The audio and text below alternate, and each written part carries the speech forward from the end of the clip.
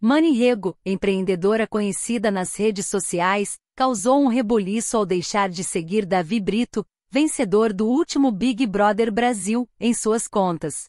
Os boatos sobre o término do relacionamento entre eles se espalharam após o término do reality show, mas foram negados por Davi durante uma participação no programa matinal É de Casa, da Rede Globo, neste sábado 20. No entanto, horas depois, Mani retornou às redes com um desabafo enigmático, onde não confirmou nem negou o status atual de seu relacionamento com Davi. Ela simplesmente optou por deixar de seguir o ex-companheiro, enquanto ele ainda segue. Em seu post, ela expressou sua surpresa ao descobrir que Davi havia discutido sobre o relacionamento deles em entrevistas e se desculpou com seus seguidores pela ausência recente nas redes sociais, explicando que precisava de tempo para processar tudo, Respeitando cada um de vocês que me acompanham, peço compreensão pelo meu silêncio nos últimos dois dias. Esse tempo foi necessário para evitar reações impulsivas ou julgamentos prematuros sobre informações que ainda estou assimilando.